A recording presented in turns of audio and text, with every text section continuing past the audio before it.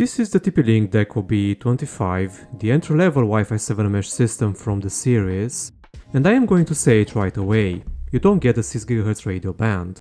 There is support for the multi-link operation, and we'll test it in a minute, but know that this is a dual band mesh system, and the manufacturer did anticipate the potential need of a wired backhaul, so each unit does come with a couple of 2.5 gigabit ports.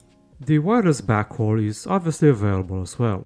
Some other interesting features are the backward compatibility with other older gen Wi-Fi systems, and there are some AI-driven features, because of course there are and hopefully a comprehensive software experience. Now let's talk about the design for a bit. The system is available in up to 3 identical units and each unit is puck shaped.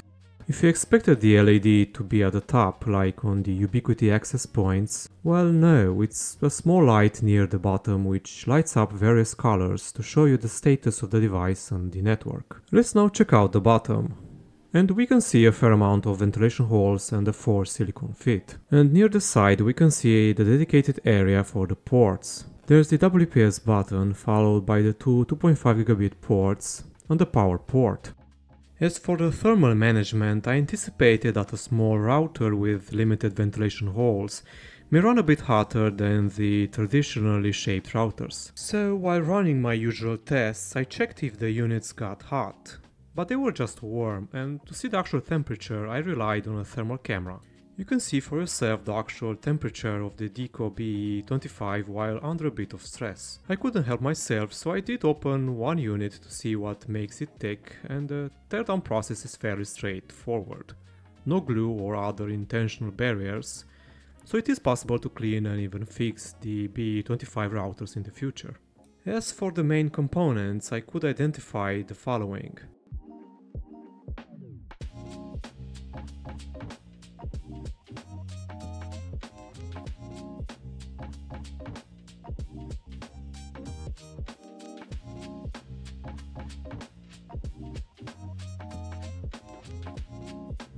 I usually divide the Wi-Fi testing section into two, one dedicated to the single client, the other to the multi-client tests. But I'm not going to go through the usual multi-client latency tests due to the time and especially funding constraints. Still, I do have some heat maps generated using Python and ran a few Flent instances. Before that, this is the data collected from the single client tests using only the main Deco unit. The results are impressive regardless of the channel width when using a Wi-Fi 7 client device, and we can even see that farther away, when the attenuation reaches minus 8 dB, we still get usable throughput. The Wi-Fi 5 client did good as well. And that's true both upstream and downstream.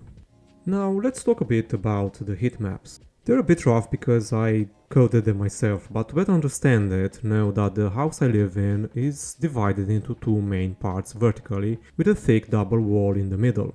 The main Deco BE25 unit was positioned on the top floor, where the first portion of the data was collected, while on the ground floor you'll see that the signal is less impressive, just as the throughput. This is a change from my usual graphs, to make it easier to understand the sort of signal and throughput you can expect in your own home. Adding the second Deco router does improve things a lot, properly covering the entire house with Wi-Fi. And you can see the difference between the data depending on the channel bandwidth. It's also worth mentioning that I try to maintain a constant distance between the two units at about 20 meters or 70 feet. And before moving forward, I also included a comparison between the two Deco units and other routers I tested over time. I also had to include a longer term performance graphic. What about the latency? Flent shows that you should not have great expectations of it handling lots of demanding clients, because it won't work well. Use cables where you can and make sure to use Ethernet backhaul between the two units to reduce the latency as much as possible. Moving forward to the 2.4 GHz radio tests, we went through a similar process, just that I used the 40 MHz channel bandwidth. The throughput is decent, more than enough for the current selection of devices that still relies on this radio to communicate with the web. And I also generated a heat map for it as well, including the throughput and the signal attenuation on both floors when using a couple of Deco units. Lastly, I had to include a comparison with other wireless routers that I tested over the years. I did mention that there is no support for the 6 GHz radio, so the multilink operation aggregation can be done between the 2.4 GHz and the 5 GHz radios. And I did go through the three available channel bandwidths for the 5 GHz radio. The wireless backhaul remains phenomenal between the two DECO units, and after enabling multilink operation, we can see a significant improvement when using the 160 MHz channel width, while minor improvements can be seen in other scenarios. This is true upstream, and downstream as well to a certain extent. So yes, it is worth using this feature especially if your clients are farther away from the secondary DECO unit. Now let's talk a bit about the software experience. Ever since the Google Wi-Fi challenged the need of a web interface, most Wi-Fi mesh systems nowadays come only with an app, and that's true for the TP-Link Deco BE25 as well.